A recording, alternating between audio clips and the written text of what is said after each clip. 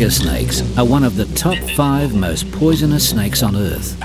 And to most Australians, they're just another deadly snake. But the tiger snake really is something special, and Rob Bredl tells us why. Rob Bredl has lived with snakes all his life. He looks at them no differently to any other animal. He thinks all you have to do to live with them is to get to know them. To most people, a snake is a long, thin creature, slimy, poisonous, crawls through the grass, and it just wants to bite people. The long and slender bit, that's true. But if they were put here just to bite people, they would all be the size of large anacondas. If I were a snake, I would be able to, without arms or legs, wriggle up this watermelon and swallow it whole. But I can't. I'm not a snake. How can they do this? Firstly, their skin can stretch to as thin as glad wrap. Now I've come here to the Queensland Museum to show you the skull of a snake. Now unlike us, most of the bones in the head of a snake are not fused together like us. So they can actually stretch apart and this allows the snake to consume animals much larger than their head. Now their teeth are needle sharp and they all face back to grip their prey and they can have more than a hundred of them. They can have from three to 400 vertebrae with a set of ribs attached to each. Their skin is covered in scales, which keeps in moisture, reflects and absorbs heat, and their internal organs to fit in are stretched out, and they're just identical to ours. They have a lung, a heart, a liver, kidneys.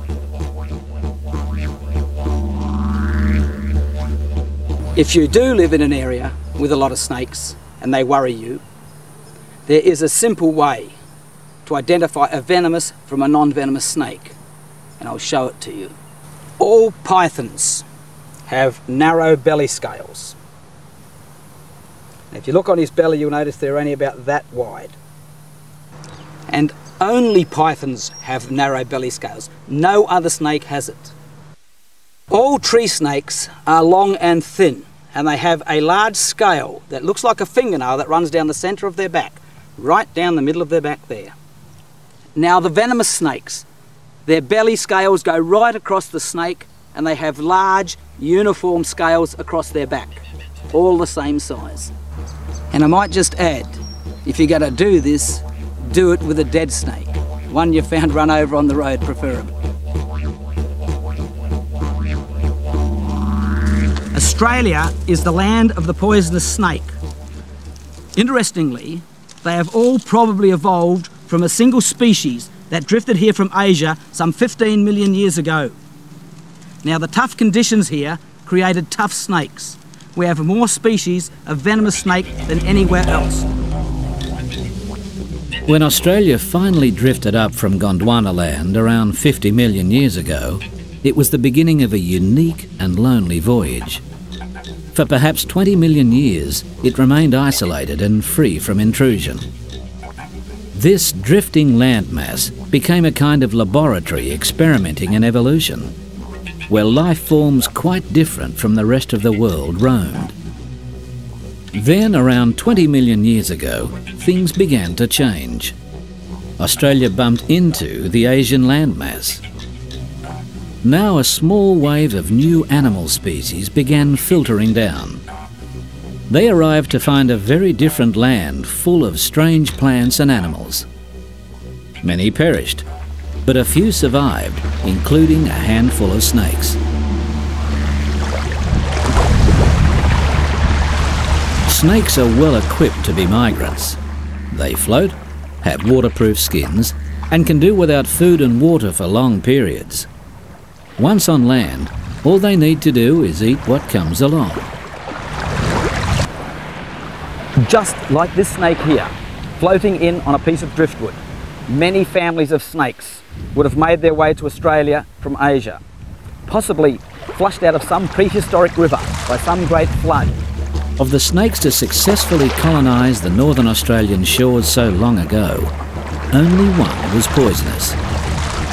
It enjoyed the tough new conditions and, by changing over time, spread and adapted to every part of this new homeland. Today, Australia has more types of poisonous snakes than any other country.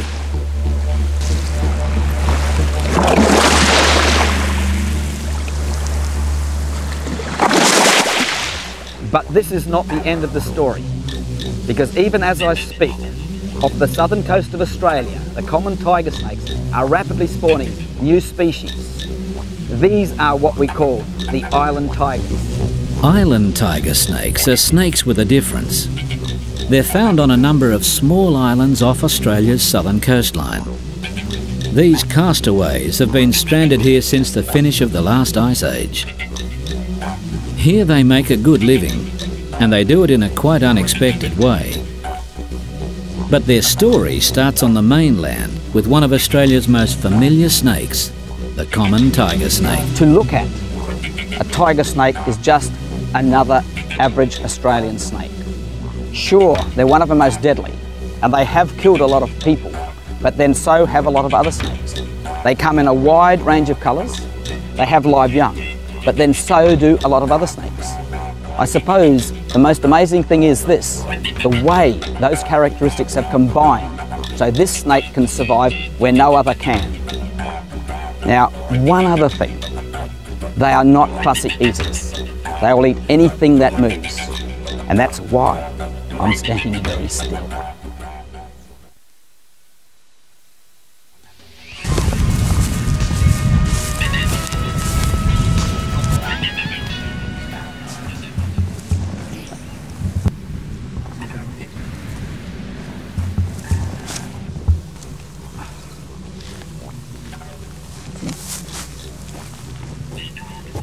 Yeah, common tiger snake. Yeah, there's nothing very common about the story this fella has to tell. Beauty. Rob Bredl is searching in the wetland home of the tiger snake in southern Australia.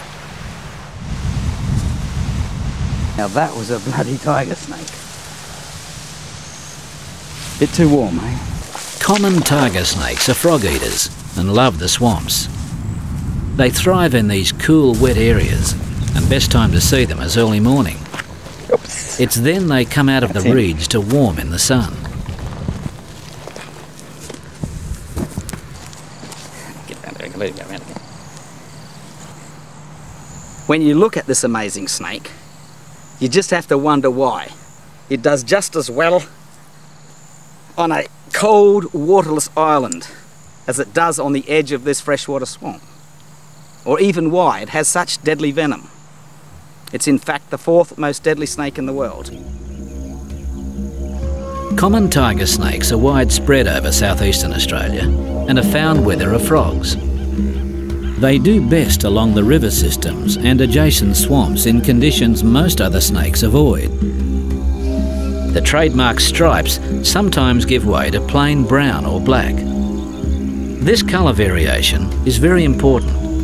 It helps them to penetrate colder regions totally unsuitable for most other snake species. Weeks have passed since the hot, dry summer of southern Australia has replaced the cold and wet winter. Streams and swamps are full, and the tiger snakes are active. While snakes need the sun to increase their body temperature, they can choose what temperature they need for a particular activity. The choice at this time of the year is to allow their bodies to warm to around 30 degrees. At this temperature, the tiger snake is ready to hunt and eat. By now, frogs also have taken advantage of the warmth and water and are breeding prolifically. They're easy prey compared with rats, mice, birds and other reptiles that frequent the swamp.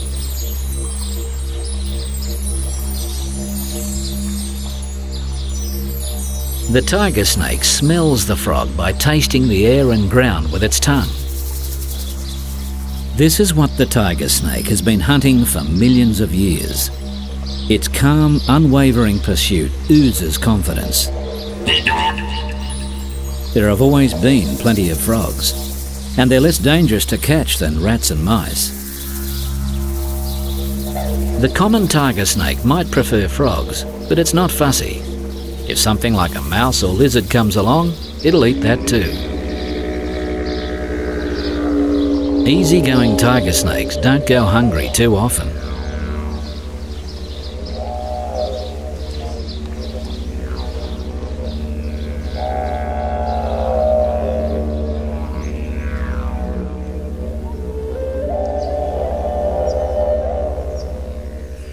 Tiger snakes mate for most of the year if the conditions are warm enough. They give birth to fully developed young instead of laying eggs. The male tries to pin down the female to stop her from moving and persuade her to mate with him. It's the smell of the female rather than her action that triggers the male's enthusiasm. The ritual can go on intermittently for days. She may mate several times with different partners over a period of months, but she ovulates only once each year, and this is always in spring.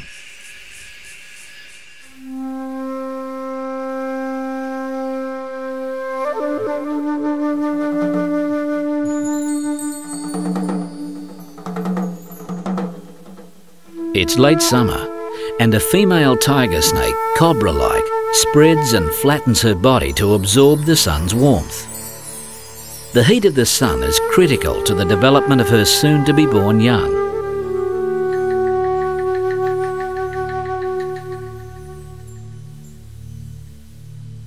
Most of southern Australia is parched and dry by now. Rivers and swamps are low, and the annual frog feast is not long to run. It's as if the Corellas are giving harsh warnings that the cold, wet months of winter are near. The closer to winter the young are born, the less chance there is for survival.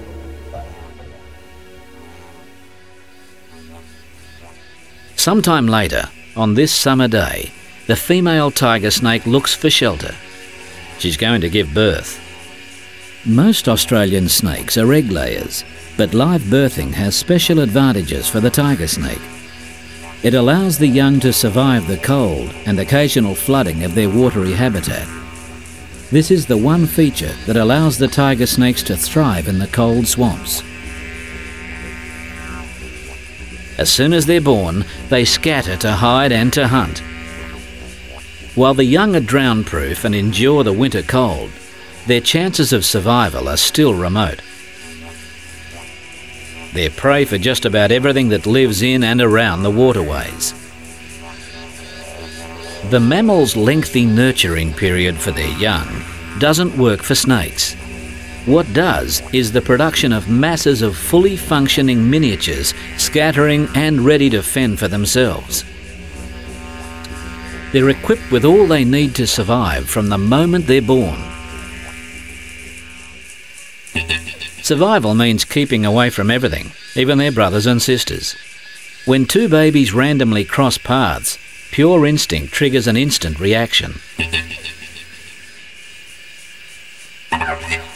Because snakes are immune to their own venom, the only way this baby can win is by holding on for dear life to stop the other breathing. Success is unlikely.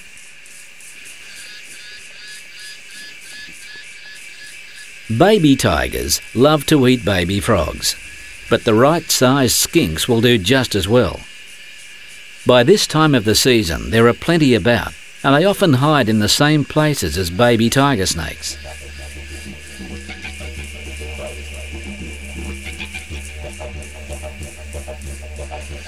By luck more than by good management, a young snake has its first and most important meal. As winter approaches, at least one of this latest generation of common tiger snakes has improved its prospects. For another, though, its luck is about to run out. While skinks are good baby food, the small frogs in the swamps remain as their major food supply. And where there are small frogs, there are big frogs.